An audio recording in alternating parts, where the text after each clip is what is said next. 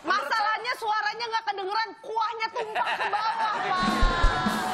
Kencang airnya, Bu. Oh, ini saya mau sapa dulu pemirsa ada di rumah. Hai, selamat malam pemirsa. Senang sekali bisa bertemu lagi di WIB. Waktu Indonesia bercanda.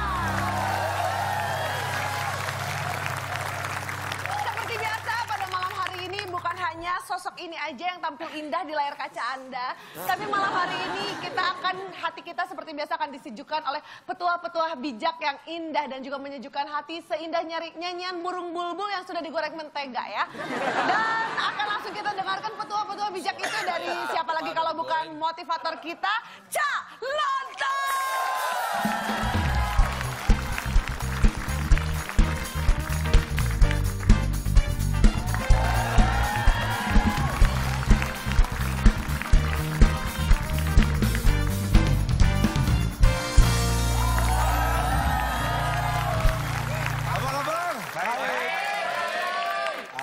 Ngapain di jam sudah tahu saya kalau baik. Tapi ini, saya mau tanya, ini sebenarnya selama anda ikut motivasi apa motivasi saya ini gimana? Sudah Apanya? merasa apakah anda sudah Perubahan dalam hidup. Alhamdulillah Pak, ini nyeri-nyeri yang ada di punggung mulai hilang. Iya, ini, Oh. Pak. Tapi menurut saya di sini lebih eh, melatih kita, Nah ini, melatih kesabaran. Bagaimana cara menghadapi orang model kayak gini? Jadi anda nggak bisa menerima dampak-dampak positifnya? Pikiran saya jadi plong. Oh, Plong ah, plong loh.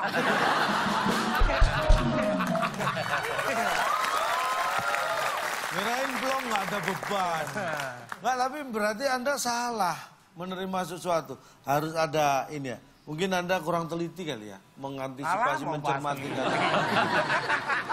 Ah, Bapak ngomong-ngomongin aja. Atau kok gini deh Pak, gini deh. Pasti mau bahas teliti, ayo. Awas yang lebih Nggak, gini teliti deh, ya. gini deh. Saya co- mencoba menengahi gini aja deh Pak. Awas nih, kita cari jalan tengahnya. Kalau Bapak gak keberatan, boleh nggak kita bahasnya teliti aja? Tuh kan. Aduh, salah saya selalu diarah-arahkan gitu, saya nggak Loh, saya suka. nggak nggak bermaksud ngarahin. Ini kan cuman minta sedikit kebijaksanaan dari Bapak aja gitu loh. Itu kan itu kan mengarah-arahkan dengan cara halus saja. Tetap aja saya merasa diarah-arahkan. Ya udah, jadi Bapak nggak- maunya nggak- gimana? gitu, saya. Kalian lagi main sinetron ya? Acting ya berdua ya? Anda tahu nggak rating yang tinggi di TV itu selalu sinetron. Wes. Kita harus berpura-pura sinetron biar penonton sinetron tertipu. Wah ternyata bukan.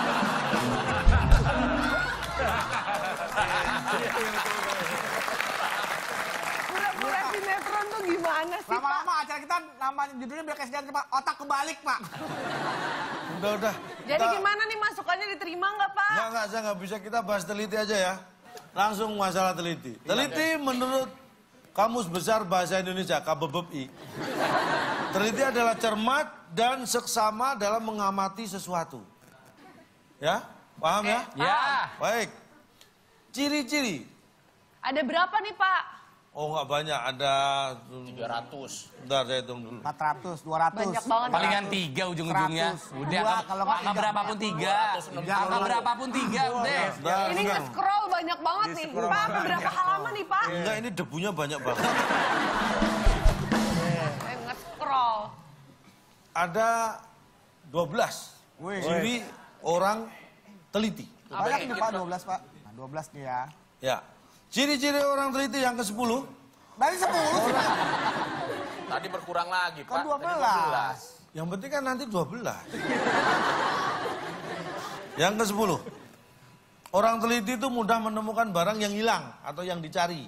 Ciri-ciri yang terlihat bukan awasnya, tapi dia gampang menemukan barang yang dicari. Makanya orang yang teliti biasanya tuh selalu pengumuman tuh. Pengumuman gimana misal? Oi, jam tangan siapa nih? Oi, dompet siapa nih? Oi, mobil siapa nih? Pak, mobil masa hilang sampai begitu, Pak? Mobil yang nggak ada yang punya. Pak, Maksudnya itu yang maksudnya punya pasti ada. biasanya teliti itu orang mudah menemukan ba- barang dia yang hilang, bukan barang orang sembarangan hilang terus dia... Loh, saking telitinya tuh barangnya orang hilang dia juga bisa nemu. Itu saking telitinya. Pak mau nanya nih, Pak. terhibur, Pak. Eh, Tora, lu kerja terhibur. Pak, nggak per- nggak perlu benar, lucu. Motivator suruh lucu. Ya memang saya nggak orangnya nggak seperti itu tapi tolong dihargai lah. Di tempat lain ini saya cerita ya. Ini kalau saya ke luar negeri, keluar di kota-kota mana pun, saya ini disegani di sini Kak. seperti ini. Oh bapak di luar. Bapak memang pernah ngasih motivasi di sebuah perusahaan terus akhirnya di Eh, luar negeri. eh, eh, eh, Gitu sih. konstitusi. Ya Nomor 11. Oh, ciri-ciri orang yang teliti itu ingatannya tajam. Jadi ingatannya tuh kalau yang gampangnya tuh pisau, silet. Yang tajam-tajam tuh ingat ya. Ingatannya tajam. Yang tumpul-tumpul nggak ingat. Nah, yang ke-12. Biasanya 13, orang Pak. yang teliti itu kalau kalau mencoba sesuatu itu harus apa bilangnya berulang-ulang. Contoh sederhananya misalnya mau beli urusannya dengan membeli ya, beli sepatu gitu ya, atau baju. Ya datang ke tokonya coba sepatu, coba bajunya. Oh coba coba dulu Dicoba pas gak set. ya gitu. Ah, terus taruh lagi pulang. Besok ke situ lagi, diambil lagi tuh, coba lagi. set. Pulang lagi. Besok datang lagi. pulang. Akhirnya setelah mencoba berkali-kali baru beli di toko lainnya. Jadi- tapi kesannya kan jadi nggak bagus. sampai pulang dong, Pak. Cak, kok jadi nggak bagus kesannya sifat teliti itu? Loh, kesan itu apa sih? Hanya kesan aja. Yang penting kan esensi. Ada nggak sih satu metode yang kualitatif, kuantitatif yang bisa bikin kita tuh kayak teliti Pak? Ah, anda mengarang-arangkan saya untuk main TTS. Saya nggak ngarahin Pak, ini emang bener tulus permintaan dari Ya teman-teman suci dan murni loh Pak. Dan kamu salah satu membentuk ketelitian, melatih ketelitian itu ya TTS. Paling efektif, TTS. Pakai TTS bisa? Bisa dong. Makasih ya Pak ya. Makasih kalau begitu sekarang langsung aja kita TTS teka-teki sulit.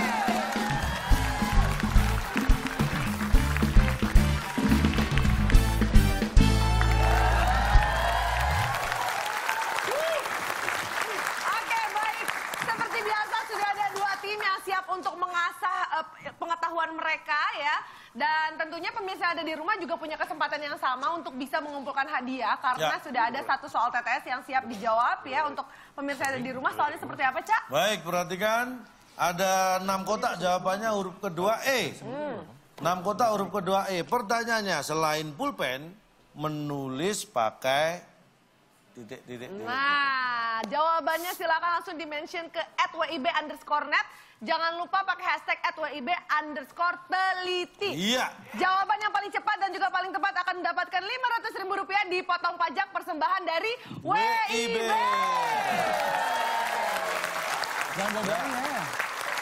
Kalau itu tadi untuk pemirsa, silakan bisa dijawab mulai sekarang, dipikir baik-baik, diteliti baik-baik supaya Anda tidak menyesal menjawabnya.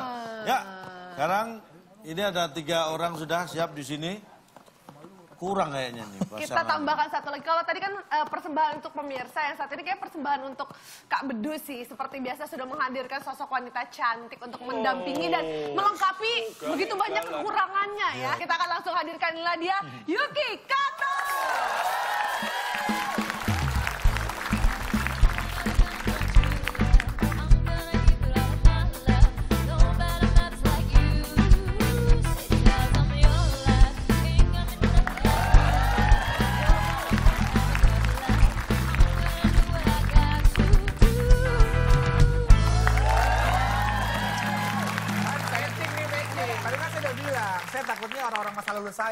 Saya. Akhirnya kejadian kan. Oh dulu waktu jaga sekolah tuh memang Yuki pas di situ.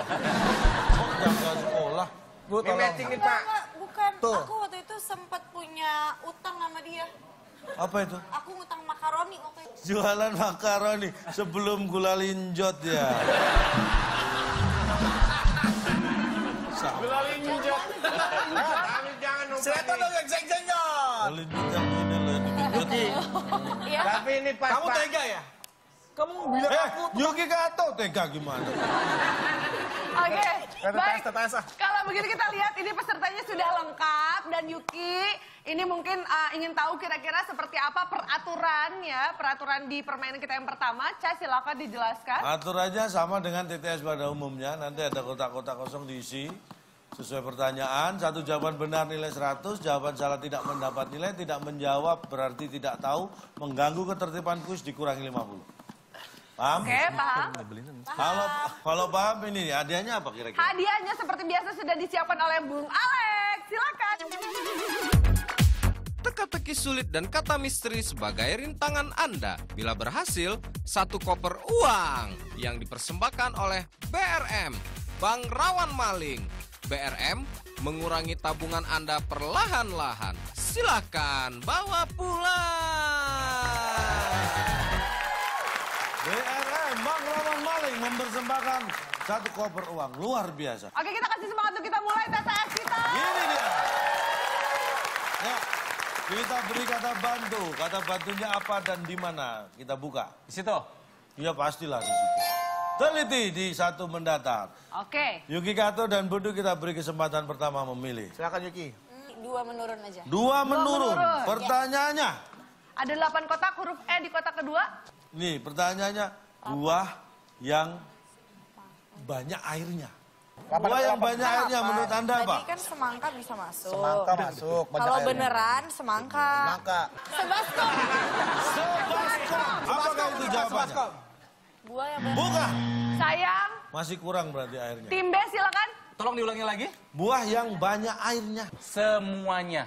Semuanya. Semua buah mengandung air. Kata siapa? Ada mengandung. Apa? Mengandung air memang, tapi tidak selalu banyak. Eh, nggak tahu. Tolong Kita lihat dijelasin. semuanya. Kita lihat apakah bukan. Sayang sekali. Contoh, salak itu airnya. Makanya kalau Ada tabinya. terlalu banyak makan salak, bedigelen. Buah yang banyak airnya. Ini dia jawabannya. Kena hujan.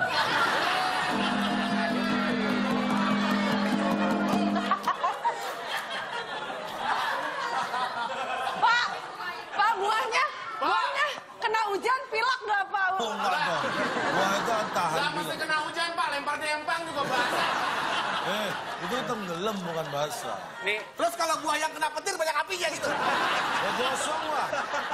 Tapi Memang ini kan buah. nggak masuk akal. Jenis buah. Jenis buah. Eh. Ada, ada bahasa latinnya, spesiesnya apa? Sebentar, oke lah. Ini gue juga udah diingetin sama bini gue nih. Udah, kamu minggu kemarin ikutan acara ini pulang stres. Kamu mau ngambil lagi gitu. Aku karena, karena mikir buat THR anak-anak aja nih makanya ikutan lagi acara ini. Lah, tadi Anda mengatakan mengarahkan gimana? Jenis buah. Jenis buah. Buah yang banyak airnya. Oke lah, kalau Anda beranggapan saya mengarahkan ke kan? jenis buah. Anda jawab semuanya. Semua spesies buah itu mengandung air, Cak. Pak, Pak. Pak. Pak,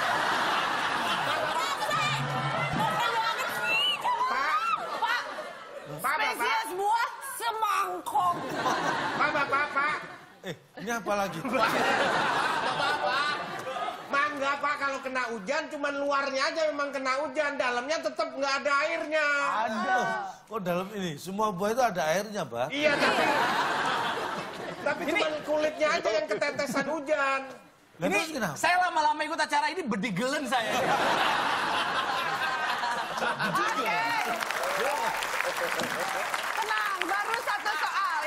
ya. Masih banyak soal berikutnya. Silakan tim B pilih soal nomor berapa?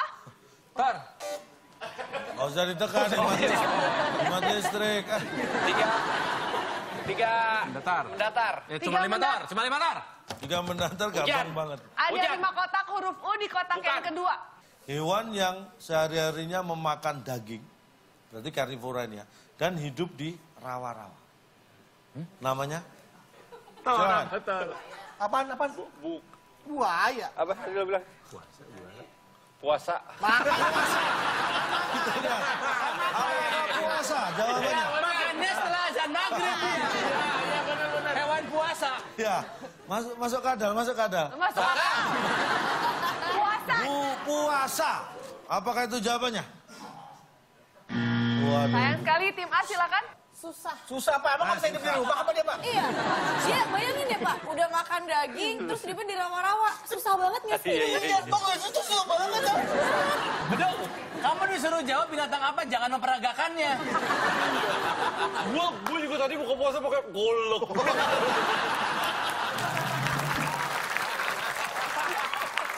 Kalian bisa diem nggak sih?